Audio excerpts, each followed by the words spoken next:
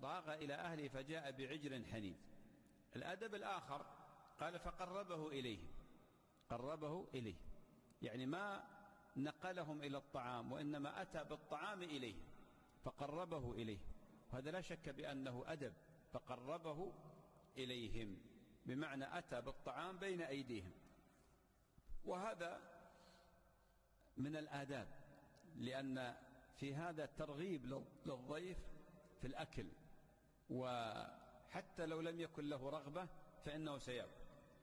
أما نقله إلى مكان آخر فهذا طبعا على حسب العوائد حسب الأماكن. وقد تغيرت عوائد الناس.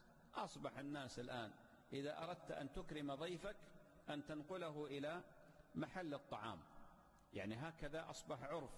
فإذا جئت له بالطعام بين يديه ربما عد ذلك من عدم الاحترام أو الأدب.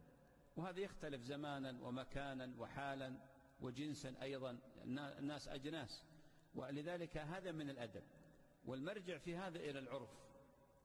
فما عده الناس آه، إكراما يلتزم. فإذا كان الإكرام أن, أن تأتي بالطعام إلى الضيف تأتي به. أما إذا كان العرف على أن إكرام الضيف يكون بنقله إلى مكان الطعام تفعل ذلك.